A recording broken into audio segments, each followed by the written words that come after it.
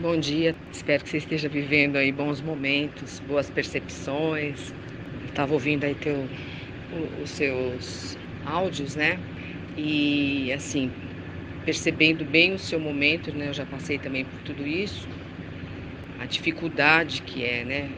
Percebendo um momento delicado, um momento de abstinência de vários padrões comportamentais, percebendo o quanto é perigoso o isolamento, porque assim, ó, além de estar na abstinência, esse isolamento ele acaba deixando você às vezes muito vulnerável, a, às vezes não deixa vulnerável a mente.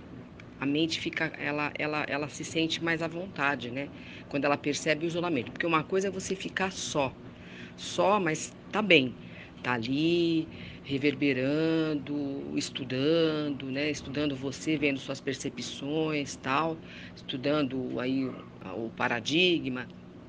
Uma coisa é isso, outra coisa é você se isolar mesmo. Então, dá uma grande margem para o observador ácido. E aí fica uma sensibilidade maior, né? Uma, um, mas uma sensibilidade voltada mesmo, vulnerável para a mente. E aí o que, que acontece? A, a, a, mente ela aproveita disso, ela entra mesmo. Então aí, aí é discussão mesmo. Você vai, você vai descontar em quem está mais próximo. As pessoas que estiverem mais aí próxima de você vai, vai receber, né, todo o impacto, toda essa energia e você vai descarregar em cima mesmo, né? Por isso que eu te falei, a importância de estar em contato mesmo com pessoas que estão vivenciando isso, que possam te dar um feedback para o que você está vivendo que já passaram por isso, que estão vivenciando isso, e falar, não, peraí, você não, você, você não. Se você continuar no isolamento, pode ser que fique maluquinho, igual o cara que você mencionou aí. Mas se não, não, é o processo mesmo. Se você tiver mesmo ali a prontificação e ficar com isso, mas também partilhar isso, nos momentos, é, é, necessário momentos de você estar tá com isso, mas também partilhar isso, não ficar só com você, senão espana mesmo. Então, é, é prestar muita atenção.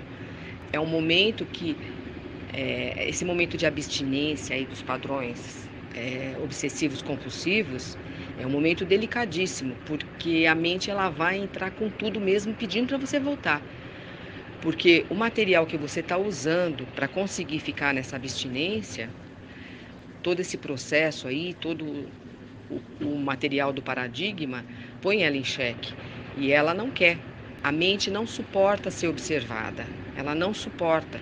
Então ela vai usar de todas as artimanhas dela para te manter acreditando que você precisa dessas fugas, que você precisa desses padrões compulsivos, obsessivos compulsivos. Então é momento de ficar com muita atenção aí, prestar atenção e não se isolar. É, o isolamento é, é, uma, é um, um grande aliado da mente. Né? Então, prestar bem atenção nisso.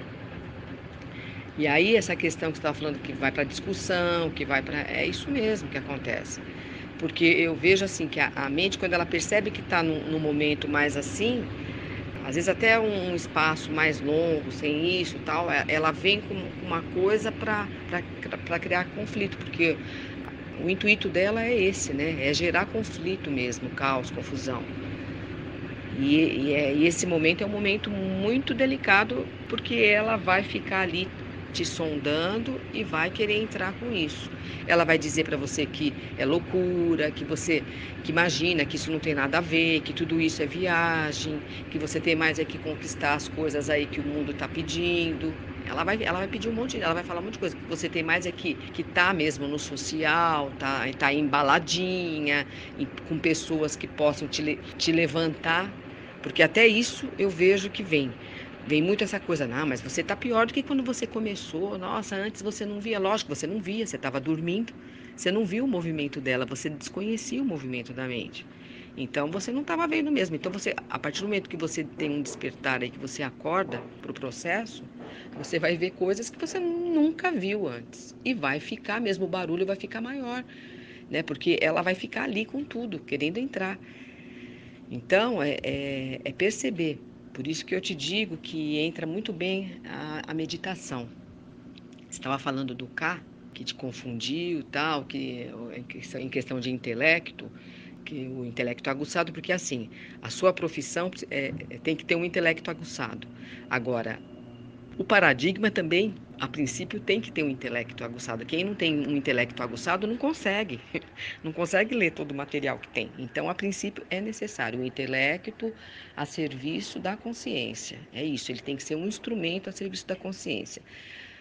Como que ele vai ser um instrumento da consciência?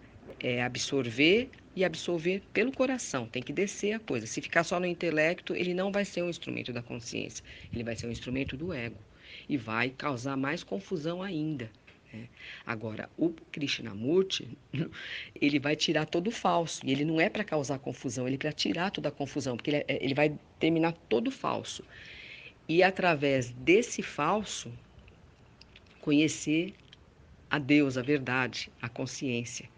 Porque derrubando todo esse falso, o que é vai se manifestar. Então, é através de todo esse trabalho que a gente vai conhecer Deus. E, o preconceito da palavra Deus, embora não tenha espaço para isso, mas às vezes tem, é a verdade. Põe a verdade aí no meio da consciência, pronto.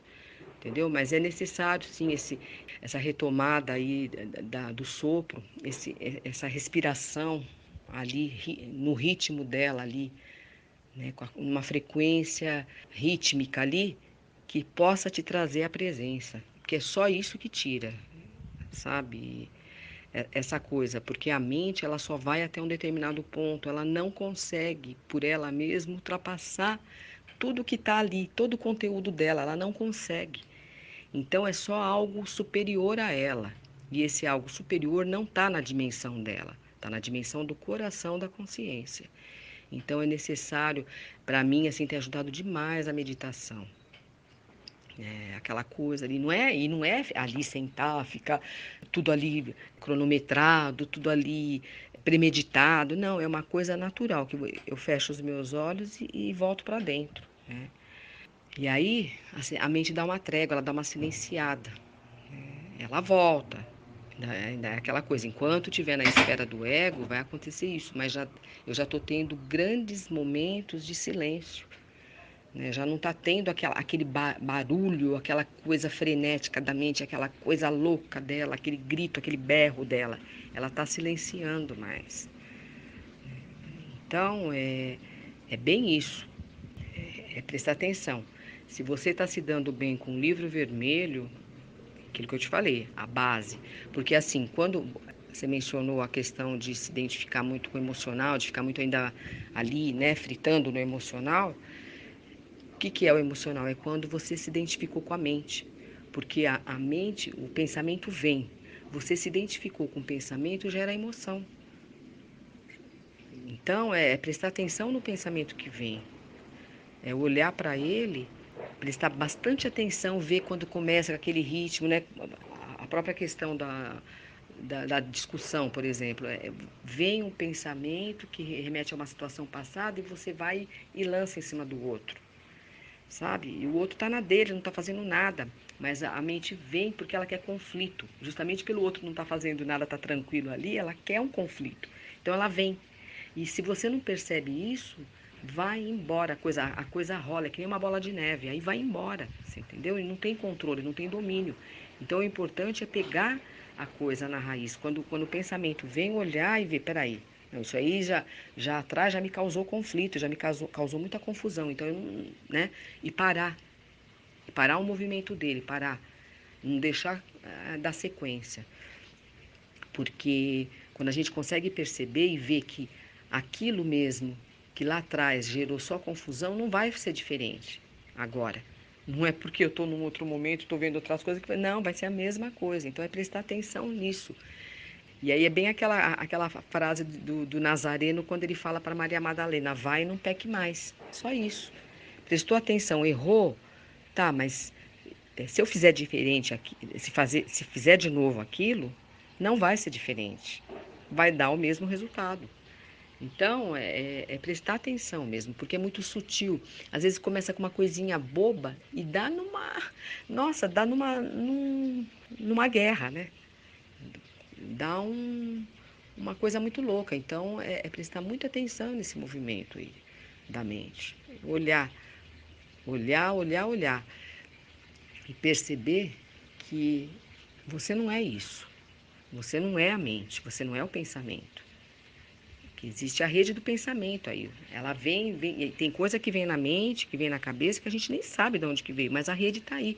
Assim como tem a rede da consciência, tem a rede do pensamento. E a rede do pensamento, por ser uma coisa do mundo, uma coisa que está muito forte da egrégora, ela a identificação é maior, porque a, a energia que rola aí no mundo, na sociedade, aí todo mundo acredita que é isso, né? É que é essa essa essa energia do pensamento, da rede do pensamento. Então, é muito forte essa egrégora.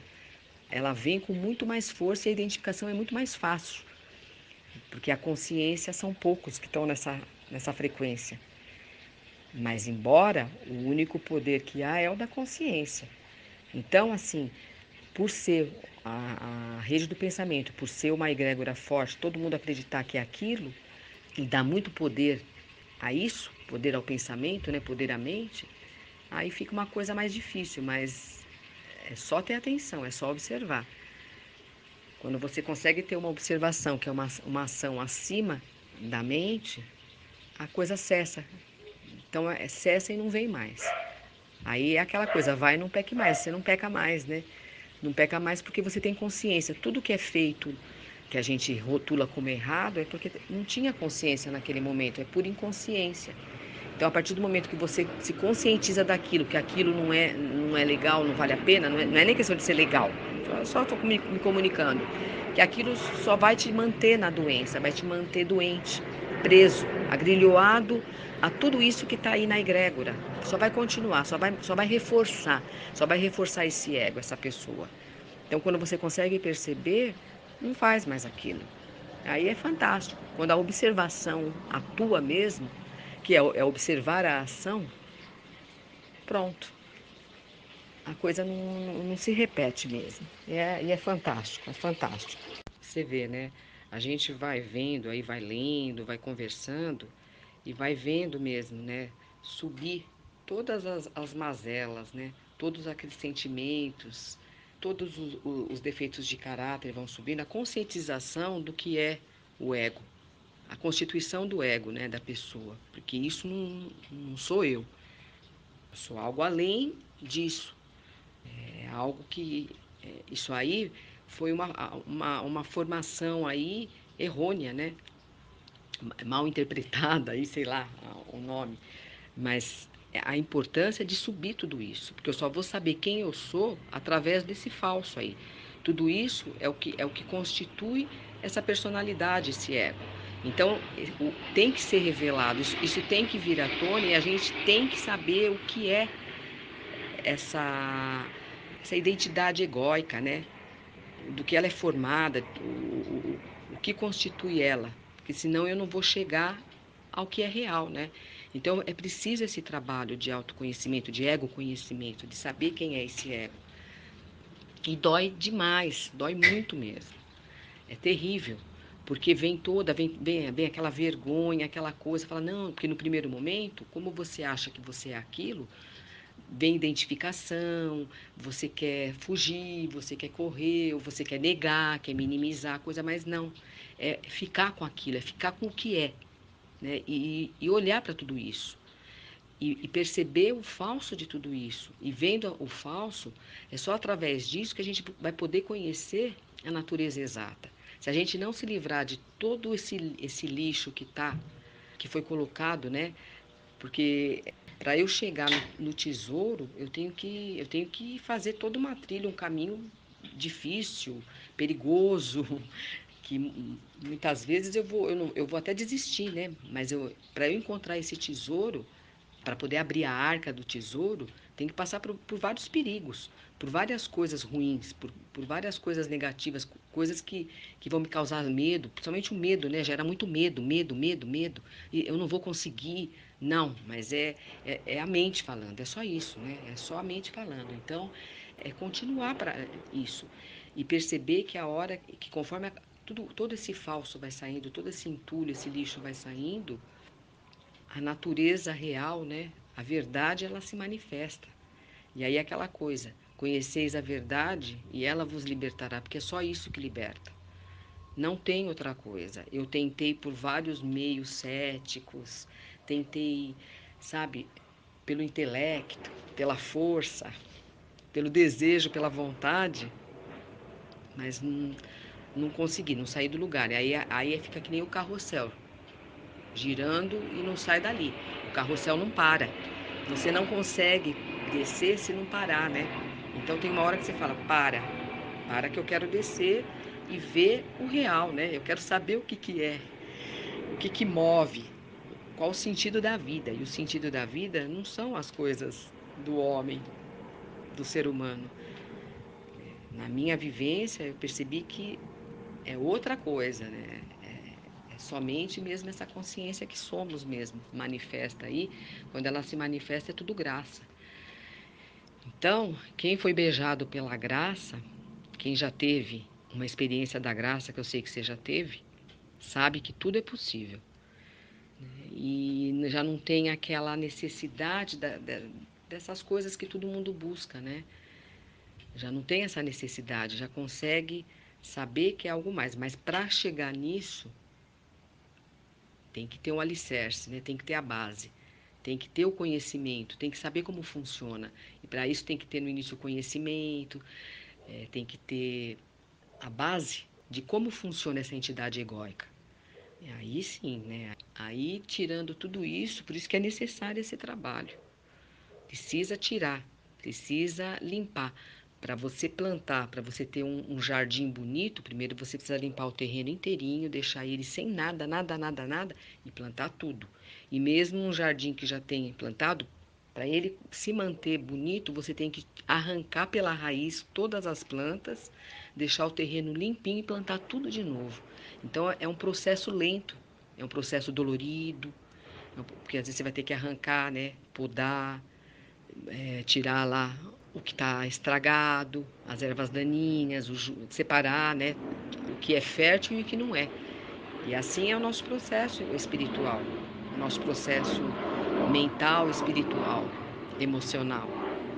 É tudo muito doloroso no, no início, viu?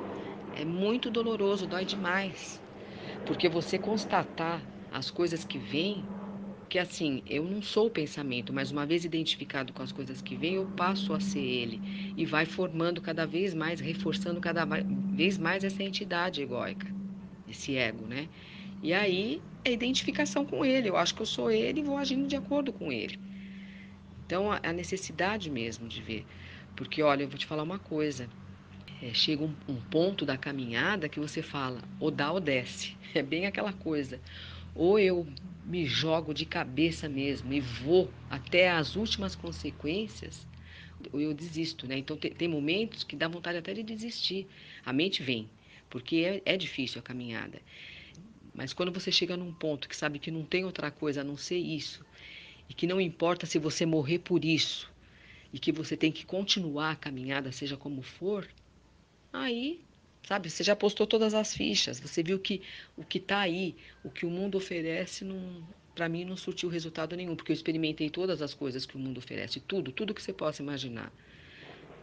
A parte sexual, a afetiva, o dinheiro, o prestígio, o poder, eu, eu experimentei essas coisas.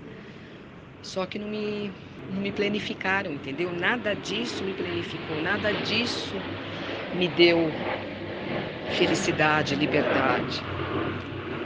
Então, só as experiências que eu tive com a graça mesmo, só as experiências que eu tive dessa verdade aí, da verdade que somos, é que, que me planificou e viu que fala assim: não, vale a pena continuar. Porque cada vez que eu vejo o galho de uma árvore balançando, eu lembro da experiência e falo: não, é a vida. A vida está em tudo. Tá em tudo, tá em tudo, né? Tá em tudo. E aí eu continuo, né? Aquilo me dá força, né? Tem dias que eu, é, ontem mesmo eu passei um dia assim meio letárgica, sabe? Assim, preguiçosa, uma coisa ruim, uma, uma, uma coisa assim, sabe? Que parecia que eu estava de ressaca. Saca? Quando você está de ressaca, mas era uma ressaca emocional mesmo. e praticamente sem fundamento. Não, não, sei, não tinha assim uma coisa. A mente estava querendo entrar, sabe? No domingo quase que eu tive assim uma identificação, tal. A mente, a mente veio querendo entrar, recebendo doação de fora, tal.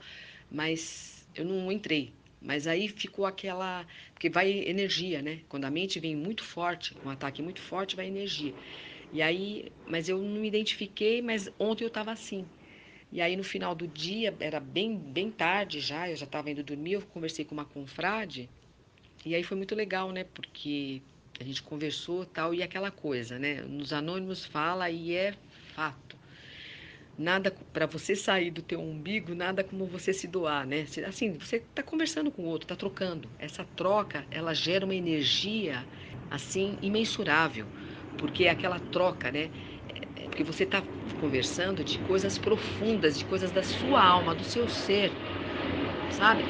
Então, é uma coisa muito forte, é uma energia muito forte que rola. E não é uma energia que suga, é uma energia que alimenta ambas as partes. Quando a gente está trocando dessas coisas do ser aí, da consciência, é uma energia fortíssima que emana. Aliás, é a única energia verdadeira, vital, né? A energia vital que rola. Então aquilo parece que me. Eu fui deitar assim, eu sentia a energia vibrando no meu corpo de ponta a ponta, da cabeça à ponta do dedão do pé, sabe? Vibrava, parecia uma. trepidava, meu corpo trepidava, eu sentia a energia, os batimentos, assim, com a coisa mais forte, uma coisa muito forte, sabe? Eu não sentia meu corpo na cama, uma coisa fortíssima, foi uma, uma, uma experiência fortíssima, sabe? Eu não sentia meu corpo na cama, de tão forte que estava a energia, mas vibrando, vibrando, pulsando, sabe? Eu sentia ali a vida pulsando. Uma coisa muito forte. E é isso que a gente sente depois que a gente tira o falso, entendeu? Vai sentindo cada vez mais a coisa, uma presença muito forte. É isso que fica. Né? E aí você vê a vida vale a pena, vale a pena cada segundo, cada momento, cada lágrima que se derrama, cada tristeza, cada dor que você, você sentiu ali nesse momento de abstinência que você está passando, que eu sei que é punk, é foda, é foda, sabe? É a noite escura da alma. Você não sabe, é muito forte, mas vale a pena, vale a pena cada momento. Se você conseguir ficar com esses momentos e depois partilhar, mas vale a pena você ficar e não desistir, porque a vida é isso aí. É energia pura, né? A vida é isso. Então vale a pena primeiro tirar todas essas arestas aí, sabe? Arrancar pela raiz tudo isso, para a gente poder saber o que é liberdade. Ah, e ontem eu assisti na, na Netflix um filme chamado Angel A, Angel.A, que é do Luc Besson, o mesmo diretor da Lucy sensacional. O cara termina o filme, o, o filme é preto e branco. Ele termina assim: Eu sou fulano, sou livre. Então, agora ele sabia quem ele era. Ah, é fantástico, você precisa ver isso aí. Depois a gente até conversa sobre ele. Fantástico. Então é isso aí, tá? Fica com a tua dor, mas divide. A gente, a gente vai batendo, aí vai, vai fazendo um ping-pong, vai jogando. Eu vou falando da, da, das minhas, você vai falando das suas e, e é isso, né? É isso. Não é ficar falando de, de, de, sabe, de, de coisinha banal, de coisinha. Não, a vida não é isso. A vida não é ficar perdendo tempo com papo furado. É, é isso aí mesmo, é falar dessas coisas e, e, sentir mesmo. E não ter vergonha de falar, eu sou invejosa ainda, ainda sinto ciúmes, ainda sinto raiva. Eu, eu sabe, sou avarenta. Tem momentos aí, sabe, mas que que vale a pena você denunciar tudo isso para que a, a graça tome conta de tudo isso. Porque você vai colocar na mão do universo tudo isso e o universo dá conta. A gente, a mente aqui não dá conta de nada. Ela é super impotente, ela não, ela não, ela não controla nada, ela não faz nada. Mas a consciência que somos, ela dá conta. Mas eu tenho que primeiro apresentar para ela. Se eu não apresentar nada para ela, ela fica lá. Ela não está preocupada com a minha vida humana aqui, com a minha vida pessoal, com as coisinhas bobas minhas do dia a dia. Não, ela está preocupada em ser. Então, quando eu apresento todas essas mazelas para ela e jogo na mão dela, aí sim, aí é outra história. Mas sem pedir nada, sem desejar nada, simplesmente jogar, ah, lançar, né? Lançar. Aí ela foi comunicada, então ela pode fazer alguma coisa. Né? mas não dentro da vidinha pessoal, não é nessa, nessa questão, não. É, é buscar o reino de Deus e, e, e tudo será acrescentado mesmo. É essa verdade aí, a verdade. É isso que, que conta. É isso que, que, que realmente importa. E aí aquilo, né? Não perder tempo com coisas bobas, mas, mas sim com as coisas do espírito.